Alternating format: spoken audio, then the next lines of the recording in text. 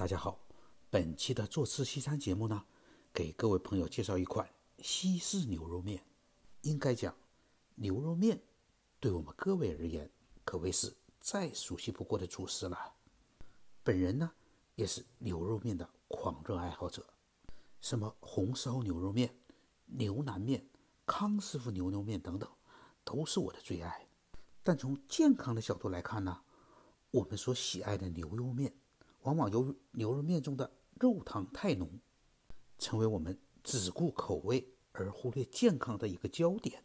据说呀，各种浓汤喝多了、吃久了以后，会促使肠道的油脂过分，从而导致各种肠道和胃部疾病。而且由于浓汤面的含糖量过高，非常容易引发糖尿病。回想起来呀，之前我的一些类似的病因。或许呢，也与此有关。尤其值得注意的是啊，如果我们在外面堂食牛肉面，万一呢，在一些不知名的餐馆里吃一些所谓的便宜的牛肉面，或许呢，还会遭遇到假的或人造的牛肉，那就更加令人生畏了。下面呢，让我们看一段有关人造牛肉面的视频。市场上的假牛肉是怎么做成的？随着社会的发展。我们可以吃越来越多的美味食物，但是很多人吃了就不那么放心了，因为现在食物经常有问题。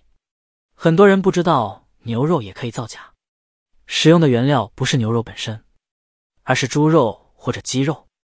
众所周知，这些肉比牛肉来得快，价格也便宜很多。然后在处理的过程中添加一些我们不知道的添加剂，当你在吃它的时候。它尝起来就像牛肉，让自己完全不知道。从牛肉的外观到牛肉的口感，很难鉴别成品。还有一个假牛肉，这是人造牛肉，整个过程都是假的，使用的材料根本不是肉。蛋清和糯米粉加工后，加入一些味精的添加剂，倒入调料后做成牛肉的味道。虽然这种事情已经被严厉打击了，但是仍然会有聪明的黑心人，因此。每个人都应该避免被欺骗。当然了，上述这种人造牛肉的情况还是极少发生的，但也必须引起我们的高度重视，千万不要因占小便宜而吃了大亏。另外就是我们在喜爱牛肉面的同时呢，偶尔也可以换换口味，看看西式牛肉面的做法，尝尝西式牛肉面的口味。下面呢，就让我们看看。今天的这一款西式牛肉面的做法，先呢，让我们准备好牛肉和意大利面，也就是意大利通心粉。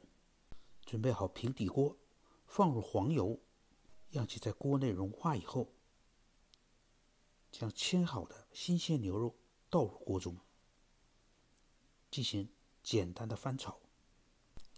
让我们看呐，美国的牛肉还是非常新鲜的，这种牛肉啊。非常的嫩，简单的翻炒就可以了。随后呢，加入少许的盐、辣椒面、胡椒，再放入一些切好的洋葱，放入一些蒜末，继续的进行翻炒。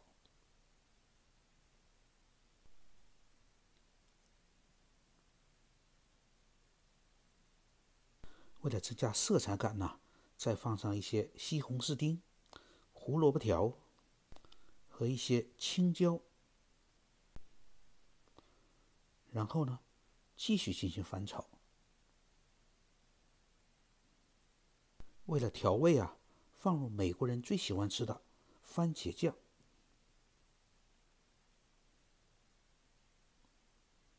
继续的进行翻炒。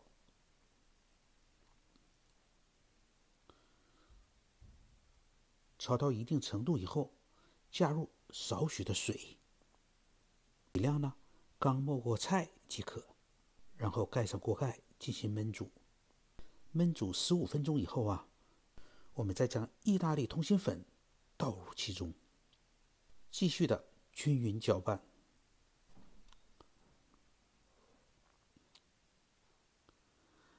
盖上锅盖以后，再焖煮个十分钟左右。看一看焖煮的程度怎么样。焖煮到了一定的程度以后，我们再加入气势。这种干气势呢，就是意大利著名的马泽罗纳。然后盖上锅盖，使气势呢充分的融化，这样一款香款可口的西式牛肉面就大功告成了。让我们尝一尝它的味道究竟如何。对于西餐呢，我们很多中国人通常呢不习惯。最主要的呢，就是它的味道。其实，任何的习惯都是一个从不习惯到习惯的过程。从我自己的亲身经历来看呢，一开始啊也吃不惯，但吃时间长了以后呢，慢慢就习惯了，反倒觉得呢别有一番滋味。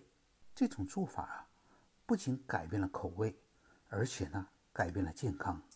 通常来讲啊，口味是可以直接反映出来的。而健康呢，需要很长的时间才能慢慢的体现出来。从潜移默化中寻找健康的源泉，应该是健康饮食需要遵循的一个基本规律。好吧，今天的节目呢，就先介绍到这里。欢迎各位点赞、转发和关注，谢谢各位收看。